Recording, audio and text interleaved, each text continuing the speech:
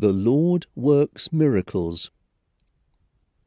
Sing a new song to the Lord. He has worked miracles, and with his own powerful arm he has won the victory.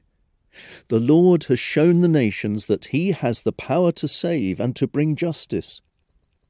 God has been faithful in his love for Israel, and his saving power is seen everywhere on the earth. Tell everyone on this earth to sing happy songs in praise of the Lord. Make music for him on the harps. Play beautiful melodies. Sound trumpets and horns and celebrate with joyful songs for our Lord and King.